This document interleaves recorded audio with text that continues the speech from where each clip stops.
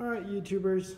So I've had my whole house fan for about a month now, and it's actually been really phenomenal with the ability to cool down uh, really the, the upstairs or downstairs at my convenience. Um, as I mentioned before, I've installed a smart switch off the, the whole house fan, so I get to control this off of my iPad here. And what's great about this TP-Link smart switch is that I can pretty much turn it on and off anywhere I have this as long as I have a internet connection. And then at the same time, if I really wanted to, I can put a timer on it and kind of watch how much I run it. So overall, it's been really cool. And what I wanted to show was how much air is coming through with this fan.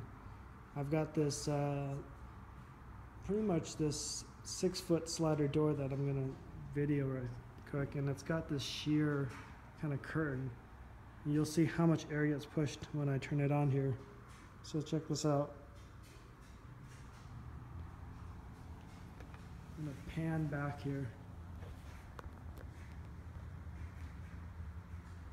So all that is basically you'll see the rise of that curtain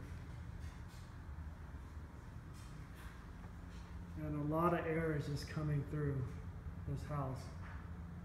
As I mentioned before, it's great for the upstairs or downstairs. I like it because for the flexibility to cool upstairs a lot faster than I can do with traditional just fans by the windows and stuff. Especially when the temperatures are a lot cooler outside.